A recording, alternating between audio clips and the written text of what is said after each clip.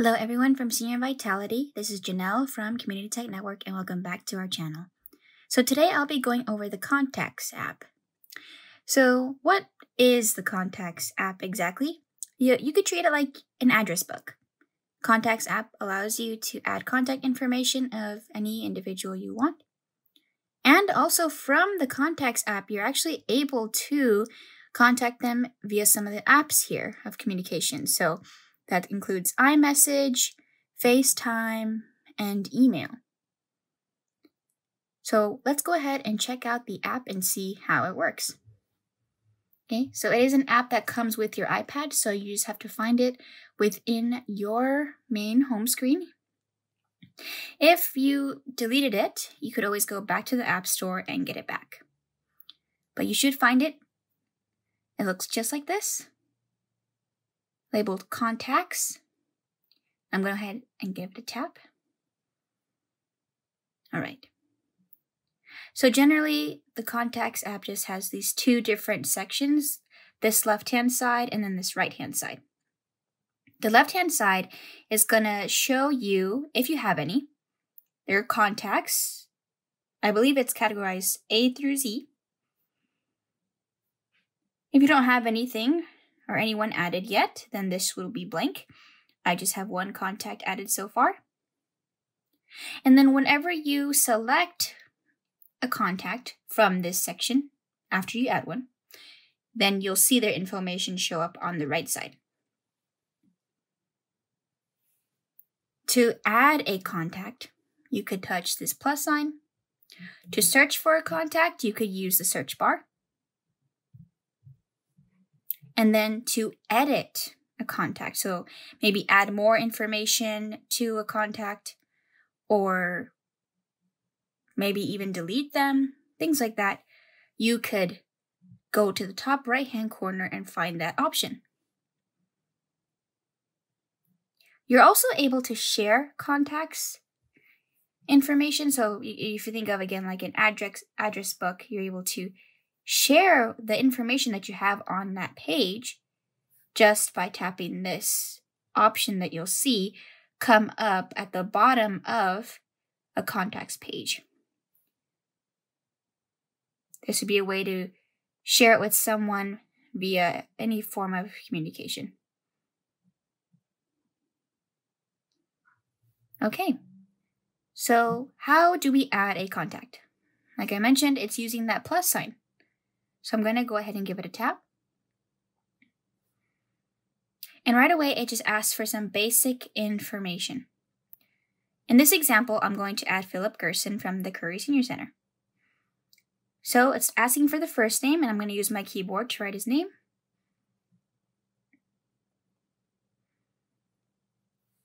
Okay, and then as I finish, I just have to tap each section below. So go to the next one.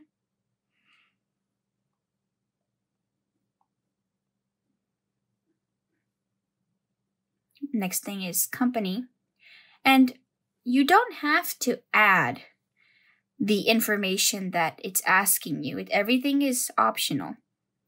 Okay, so you could choose to skip any part. For company, I'm going to put the abbreviated S Curry Senior Center, CSC. And then if I keep pushing up, I'll see some more options. So I could add a phone number. I just touch it. And I can choose here what kind of phone number I am providing. It automatically put mobile, but I could touch those blue words. And it has different suggestions about the kind of number it is. So I could pick one of these, or I could even add a custom label. In this case, it's going to be work and I'm going to put the number in.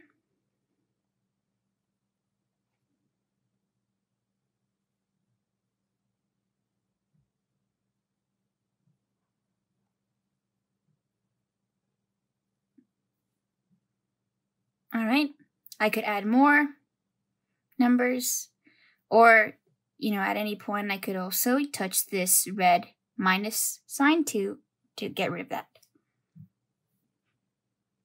Going to push up.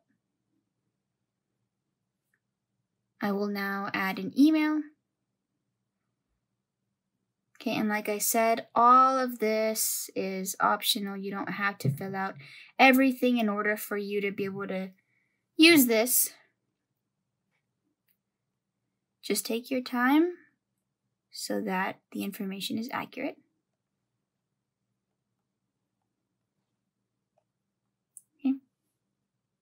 And again, I could specify what kind of email it is, so I will touch you know, what's been automatically selected home.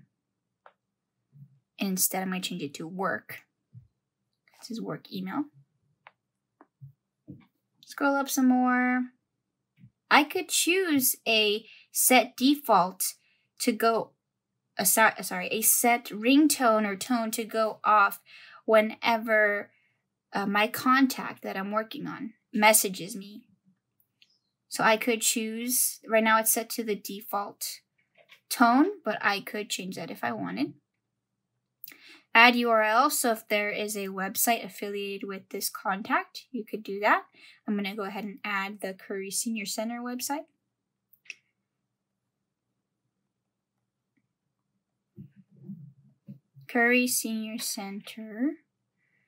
curryseniorcenter.org. Okay. And again, I could categorize that. I'm going to leave it there as homepage. Push up some more. And here are some other options. So add address, could add the birthday. I'm Just gonna put a trying to base it off memory here from what he provided me. Here. Oh, there goes. All right. And then here's some other options. So add date. To be honest, I'm not too clear what that what that is. My guess is when I put the contact info, I could choose a date there. Add related name, social profile, instant message, notes, and I could add some more fields. But that's the basic way to use it, just to add that information and then whenever you're finished, you would just hit done on the top right hand corner. All right, so after I've added Philip's info onto my contacts app, he now shows up on the left hand side. Again, it's going in alphabetical order for me. And then on the right side, you know, whenever I select a contact from the left, it will show up here on the right. And so what's great is from the contacts app, like I mentioned, I can directly use some of the apps to reach him. Okay, so I could use any of these here. I could even touch any of this info below and it will direct me to an app so that I could use that information in a relevant way. So, for example, I wanted to show you guys the iMessage option. So, in order to do that, all I have to do is tap the option message. That's going to use the iMessage app that we have on our iPads. So, I'll give it a touch. And these two options show up. You know, iMessage is the app that is really for text messaging, but we don't have the option to text message the way you would using your smartphone. Right? When you, you when you do it that way, you're using a phone number. Okay, but we don't have iPads that are SIM enabled, and so we're not able to contact someone with you know, a phone number that's not associated with their iOS device. And I believe that that number that I put in there is not associated with Philip's iPad or Apple device. So instead, I'm going to use the email. And the reason why that works is because I believe that email address is actually the same thing as his Apple ID. Okay, so you can use the iMessage option if you have the Apple ID email address, for your contact. Okay, so, and that's the same thing with your classmates. You know, if you're, if you've added them to your contacts app, if you've also included, you know, when you were adding them in, their Curry email, their CSE PSV email, then you should be able to message them because that email is linked to their Apple ID. Okay, so you might tap message, and if you see your classmates' email show up, don't get confused. You're still sending that text, you're still sending that iMessage. You're not sending an email.